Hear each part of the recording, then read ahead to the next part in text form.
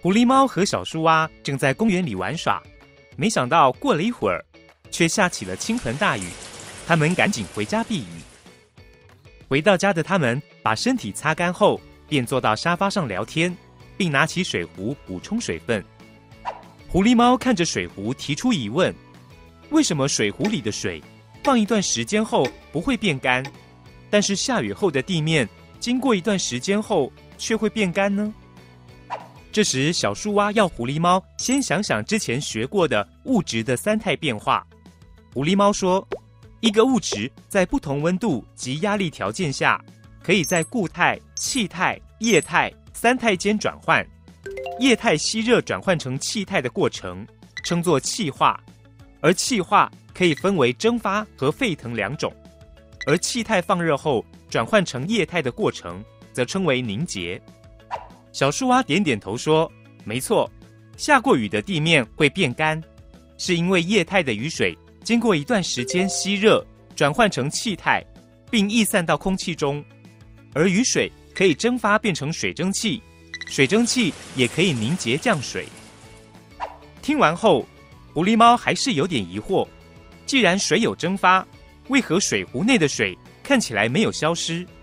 小树蛙说：“不如我们做个实验来看看吧。”小树蛙请狐狸猫找两个保特瓶，并且在里面各放半瓶水。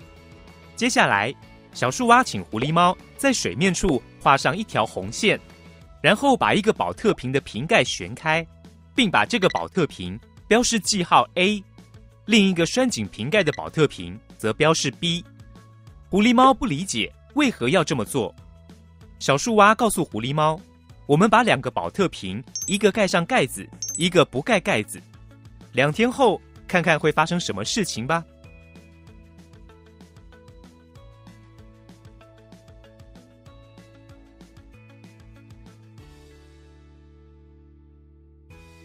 两天后，狐狸猫和小树蛙来观察保特瓶的状况。狐狸猫发现没盖盖子的 A 保特瓶的水水量有明显的变化，但有盖盖子的 B 保特瓶水量没有下降很多。狐狸猫想起之前复习过的物质三态变化，知道 A 保特瓶里的水变少，应该是由液态蒸发成气态，所以水量明显下降。不过 B 保特瓶的水。难道不会蒸发成气态吗？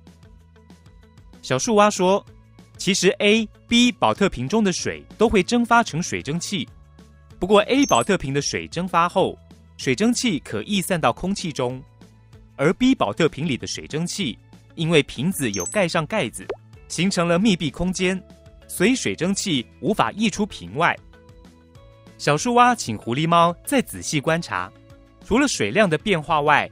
还有什么发现呢？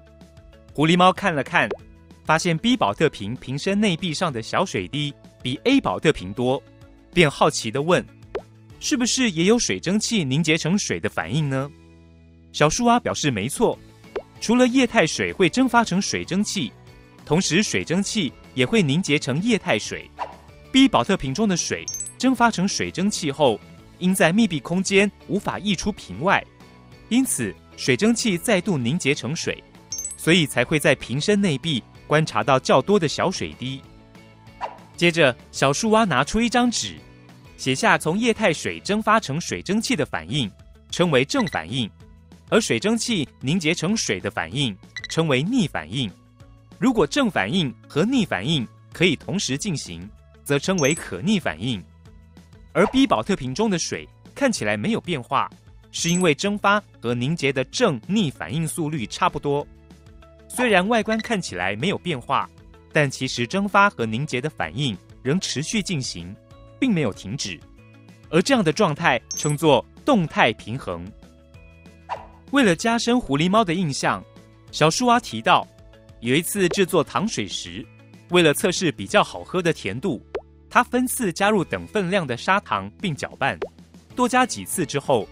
发现加入的砂糖无法溶解，且会观察到杯底有沉淀的砂糖。小树蛙向狐狸猫解释：一开始砂糖溶解的速率大于沉淀的速率，所以搅拌时砂糖会溶解。当加入越来越多的溶质后，会发现杯底产生沉淀，代表这时已经呈现饱和状态，沉淀速率大于溶解速率。此时如果停止再加入溶质，待溶解与沉淀速率相同时，沉淀的量不再增加，便达到平衡的状态，也就是前面说到的动态平衡。小树蛙又举了一个例子，他请狐狸猫回想一下硫酸铜变色的实验。实验室中常见的硫酸铜是呈现蓝色的，经过加热后会变成白色的无水硫酸铜。若将水滴入白色的硫酸铜，则会变回蓝色的硫酸铜。小树蛙请狐狸猫在黑板上写下反应式，并将无水硫酸铜加水后成为含水硫酸铜，定为正反应。含水硫酸铜加热变成无水硫酸铜为逆反应。小树蛙接着说，这个反应也可以同时进行正反应和逆反应，因此也是可逆反应。突然，小树蛙从实验柜中拿出药品，上面标示着氯化亚钴，并对狐狸猫说：“来来来，狐狸猫，你看看，我来变个魔术吧。”于是小树蛙便把部分氯化亚钴晶体倒入烧杯中。加入水搅拌，此时原本蓝色的晶体倒入水中后，呈现粉红色或紫红色的水溶液。接着，小树蛙拿出一张白纸，请狐狸猫用易沾水的笔，利用这杯溶液在纸上画图。狐狸猫在纸上画了自画像，纸上便有了一只粉红色的狐狸猫。画完后，小树蛙把纸张拿去烘烤。粉红色的狐狸猫便转变成蓝色的狐狸猫。狐狸猫惊讶地说：“真是 magic！” 小树蛙笑着解释：“这是因为蓝色的氯化亚钴与水反应后，会变成粉红色或紫红色的氯化亚钴水溶液，而氯化亚钴水溶液加热后就会变回蓝色的氯化亚钴晶体，所以这也是一种可逆反应哦。”狐狸猫开心地表示：“真是有趣的可逆反应。”我要把这魔术记起来。学了这么多与可逆反应相关的有趣实验，小树蛙想请狐狸猫回答一个问题，请荧幕前的你也一起解答吧。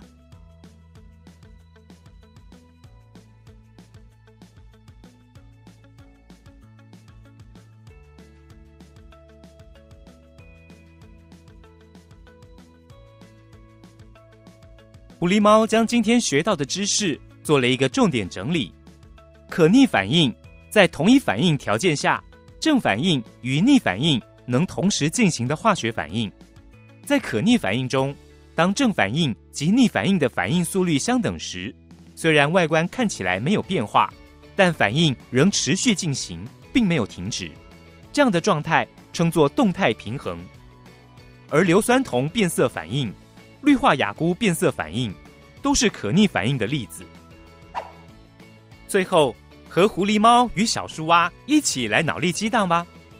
生活中充满很多可逆反应的例子，想看看若反应呈现平衡的状态，请问有哪些因素可以影响反应平衡，造成反应开始明显变化呢？